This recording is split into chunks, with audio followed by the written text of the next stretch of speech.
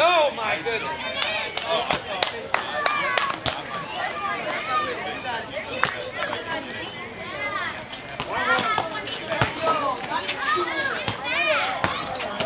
There you go, buddy.